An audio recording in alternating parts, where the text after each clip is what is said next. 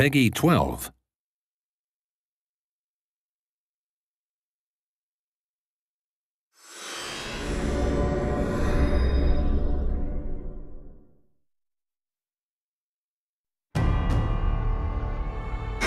時は戦国真田の魂を守るためどこまでも共に戦おうと誓った兄弟がいた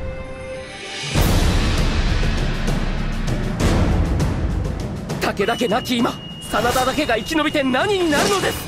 武田の魂は真田が受け継ぐ。我らの戦いはこれからだ。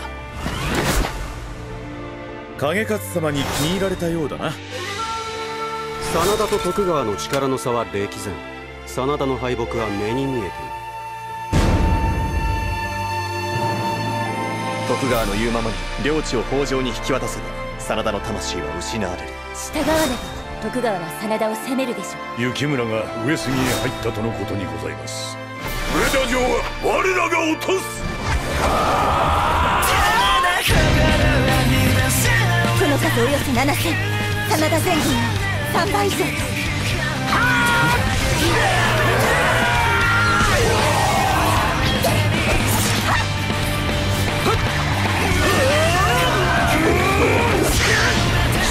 とは何のために戦う。徳川の理不尽に対し節を投じたいのだ。乱世の嘘に巻き込まれた若き真田兄弟の熱き魂の物語が今始まる。真田の魂ここに据えた戦国無双スペシャル真田の章